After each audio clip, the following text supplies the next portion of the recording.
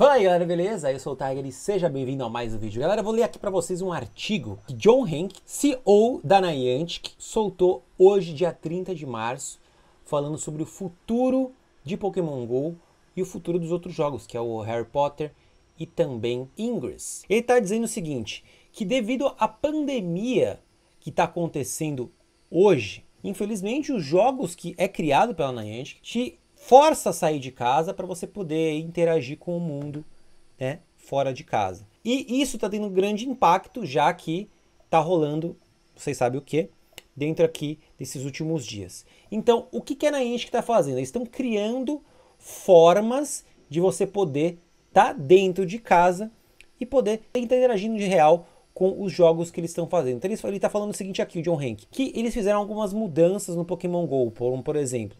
Exercícios. Você pode aí traquear os seus passos com a 5 Aventura dentro de casa, para você poder aí, de repente, chocar um ovo, enfim, você pode fazer isso. Eventos. Nós vamos reimaginar o significado de participar dos eventos de verão que acontecerão neste ano em 2020, trazendo coisas emocionantes diretamente da sua casa.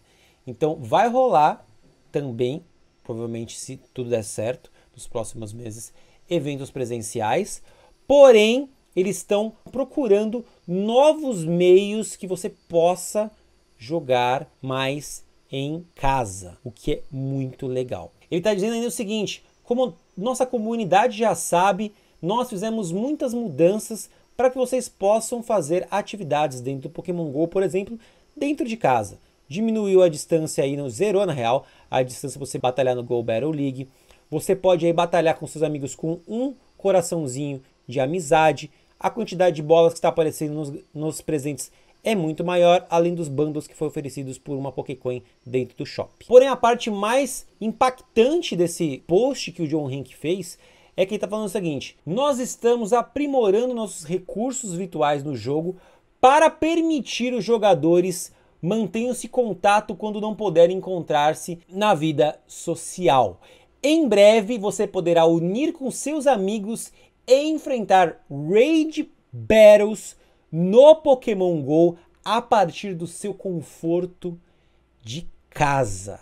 Isso é uma mudança gigantesca dentro do Pokémon Go, já que muitas das muitas das pessoas se encontram por causa das raids. Né? Vamos ver como que a Niantic vai fazer isso, se vai ser uma mudança permanente ou se vai ser uma mudança que realmente vai ser por conta do momento que a gente está passando hoje. Pelo que está falando aqui, eu acho que vai ser uma mudança permanente, onde você vai poder fazer raids de casa, exatamente como funciona no Sword and Shield e mais. É um momento bem especial que a gente está passando e no jogo que tem que sair de casa para poder jogar, de fato, tem que ter algumas mudanças aí mas vamos ver com o que os próximos meses vão trazer. Uma grande notícia, uma mudança gigantesca em questão de você poder aí capturar Pokémon através de raids no conforto de casa. Comenta aqui embaixo o que você achou, compartilhe esse vídeo com todos os seus amigos e também vai deixando seu like que é muito importante, beleza? Um grande abraço a você, até o próximo vídeo. Tchau!